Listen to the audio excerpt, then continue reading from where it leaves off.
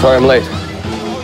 Staff Sergeant Dignam is our liaison to the undercover section. His undercover work is extensive. He's here to give us his report, Sergeant Dignam. Okay. My people are out there. They're like fucking Indians. You're not gonna see them, you're not gonna hear about them, except through me or Captain Queenan. You will not ever know the identity of undercover people. Unfortunately, this shithole has more fucking leaks than the Iraqi Navy. Fuck yourself. I'm tired from fucking your wife. How's your mother? Good, she's tired from fucking my father. Good. Today, girls, what I have for you is microprocessors.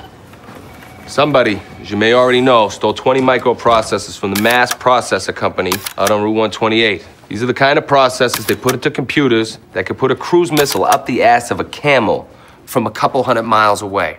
These little pieces of plastic are worth about 100 grand a piece.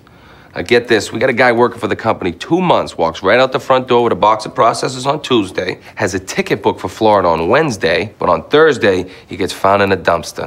You know where that dirtball started his life? Southie Projects. What was his name? The departed.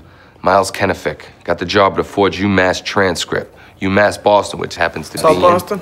Oh, you're a fucking genius, huh? Who forged your transcript, dickhead? Hey, this guy's uh, his old man runs the Hibernian Liquor Mart, Kenefick's. We're not here to solve the case of the missing scumbag. We're here to nail Costello. All right, look. Got a guy who says he hears Costello's moving the process to China. He set up the whole fucking job in Pop Kenefick. You do not want to miss it if Costello takes a dump. We'd miss a lot less if you made your informants available to us and, of course, to the Bureau. Without asking for too many details, do you have anyone in with Costello presently? Maybe. Maybe not. Maybe fuck yourself. My theory on feds is they're like mushrooms. Feed them shit and keep them in the dark. Girls have a good day. Normally, he's a very uh, nice guy. Don't judge him from this meeting alone.